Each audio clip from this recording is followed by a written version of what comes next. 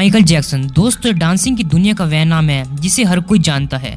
Michael Jackson, जिसे कुछ लोग डांसिंग का भगवान भी कहते हैं, क्योंकि इनके कुछ स्टेप्स ऐसे हैं जिन्हें सिर्फ़ यही कर सकते थे, और आज भी उन स्टेप्स को कोई और नहीं कर सकता, जैसे माइकल का 45 डिग्री पर झुकने वाला डांसिंग स्टेप।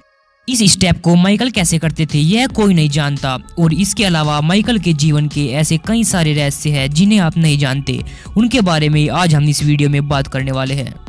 कहता है कि माइकल जैक्सन को अपनी ज़िंदगी से बहुत प्यार था। वह कभी भी इतनी जल्दी नहीं मरना चाहते थे। डेढ़ सौ साल तक की ज़िंदगी जीना चाहते थे। और कुछ लोगों का उनके बारे में यह मानना है कि माइकल जैक्सन अभी भी ज़िंदा है। और वह इस दुनिया से अपने अस्तित्व को छिपाए रखकर कहीं और रह रहे हैं। माइकल जैक्सन डेढ़ सौ साल तक की ज़िंदगी जीना चाहते थे। और इसके लिए उन्होंने बहुत सारी तैयारी कर रखी थी। मगर इसके बाद वह इतनी जल्दी कैसे मर गए? रुको जरा, सबर करो। दोस्तों माइकल जैक्सन को अपनी लाइफ से बड़ा प्यार था और इसके लिए माइकल जैक्सन ने अपने घर पर अपनी देखरेख के लिए बारह डॉक्टर्स की एक टीम रखी हुई थी, जो उसके सर से लेकर उसके पाँव के नाखून तक की जाँच रोज़ाना किया करते थे। माइकल जैक्सन डेली अपनी बॉडी की जाँच करवाता था, क्योंकि वह चाहता था कि उसे कोई भी बीमारी ना हो। यहाँ तक कि वह दूसरों से हाथ मिलाने से पहले भी दस्तानों का इस्तेमाल करता था और जब भी वह बाहर जाता तो हमेशा अपने मुँह पर मास्क लगाकर निकलता। फिर चाहे उसे अपने फ़ैन से मिलने जाना हो या किसी पार्टी में। वह हमेशा अपने मुँह पर मास्क पहनता था। तो माइकल का खाना पहले लेबोरेटरी में टेस्ट किया जाता था।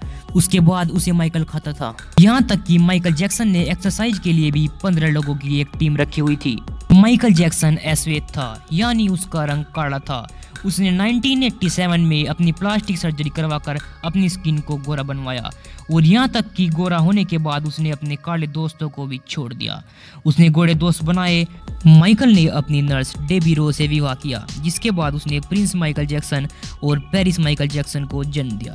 माइकल जैक्सन हमेशा ऑक्सीजन चैम्बर वाले बेड में सोता था, क्योंकि वैज्ञानिकों का मानना है कि दिन में हर रोज दो घंटे ऑक्सीजन वाले बेड में सोने से इंसान की उम्र बढ़ जाती है। तो समय पड़ने पर जो उसे अंगदान कर सके, इसके लिए माइकल जैक्सन ने डोनर भी तैयार कर रखे थे, जिनको वह खर्चा देता था। ताकि समय पड़ने पर उसे किडनी, फेफड़े, आँख या किसी भी शरीर के दूसरे पार्ट की ज़रूरत पड़ने पर वह उसे आकार दे सके। दोस्तों माइकल जैक्सन को लगता था कि वह पैसों की बदौलत मौत को भी चकमा दे सकता है, लेकिन वह गलत साबित हुआ। आखिरकार 25 जून 2009 को माइकल जैक्सन के दिल की धड़कन रुकने लगी। उसके घर पर बारह डॉक्टरों की मौजूदगी में उसकी हालत काबू में नहीं आई। सारे शहर के डॉक्टर माइकल जैक्सन के घर पर जमा हो गए, मगर फिर भी वह उसे बचा नहीं पाए। माइकल जैक्सन ने 25 साल तक डॉक्टरों की सलाह के विपरीत कुछ नहीं खाया। वह रोज एक्सरसाइज और योगा भी किया करता था। उसने वह हर काम किया जिससे माइकल जैक्सन हेल्थी रह सके और डेढ़ सौ साल तक भी जी सके, मगर उसके बाद भी वह इतनी जल्दी पचास साल की उम्र में कैसे मर गया? इस पर जब डॉक्टर्स ने उसकी बॉडी को टेस्ट किया तो उन्होंने देखा कि माइकल जैक्सन की बॉडी अंदर से बिल्कुल खराब हो चुकी थी। उसकी हड्डी इतनी कमज़ोर थी कि उसके शरीर की हालात बिल्कुल एक खंडर के समान हो गई थी और इसकी वजह थी उसका बार बार अपनी खूबसूरती बढ़ाने के लिए की गई प्लास्टिक सर्जरी जिसके लिए उसे इतनी दवाइयाँ खानी पड़ी कि वह अंदर से खोखला हो गया और उसकी मौत के बाद पता चला कि माइकल जैक्सन गंजा था। वह अपने सर पर विग पहनता था, जिससे कि किसी को भी इस बात का पता न चले कि वह गंजा है। दोस्तों, उसके शरीर पर हर जगह सुई के निशान थे।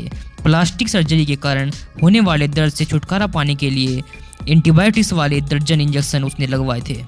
और दोस्तों, यह भी कहा जाता है कि माइकल जैक्सन ने अपने इतने इंश्योरेंस करवा रखे थे कि उसके मरने के बाद उसे अरबों खरबों रुपए मिलने वाले थे।